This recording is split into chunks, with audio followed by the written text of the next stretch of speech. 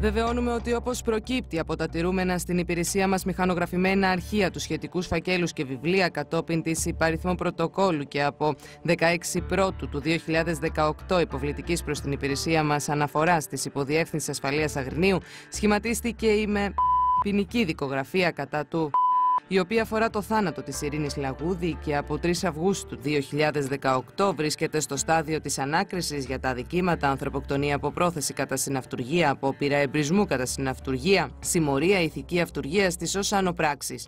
Στην παρούσα συσχετίστηκε και η με ποινική δικογραφία υποβλητική της εισαγγελίας Πρωτοδικών Αθηνών με αριθμό πρωτοκόλου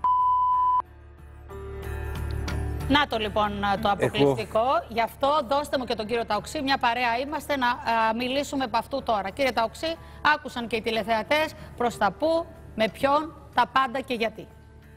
Εγώ δεν μπορώ να καταλάβω Πριν κάτι. πάμε στο χαρτί, πριν πάμε στο χαρτί, θέλω να πω κάτι για τον φίλο μου τον Γιώργο τον Καραϊβάζ. Όταν άκουσα στην εισαγωγή της τοποθέτησής του ότι αισθάνομαι για πρώτη φορά στη δημοσιογραφική μου καριέρα να ζητήσω, την ανάγκη να ζητήσω συγγνώμη, νόμιζα ότι θα ζήταγε συγγνώμη από όλη την οικογένεια Λαγούδη και δευτερευόντως από εμάς τους νομικούς παραστάσεις και τους τεχνικούς συμβούλους, διότι θυμόσαστε όλοι ότι δέκα μήνες αντιπαρατηθέμεθα στο πλατό της δικής σας εκπομπής όπου ο Γιώργος ο Καραϊβάς διέδιδε ε, απόψεις κύκλων κάποιων κύκλων. Δεν ξέρω πόσο μεγάλη, πόσο μικρή, πόσο ομόκεντρη ή πώς διαφορετική ήταν, της αστυνομίας που επέμεναν αιμονικά ότι πρόκειται για αυτοκτονία.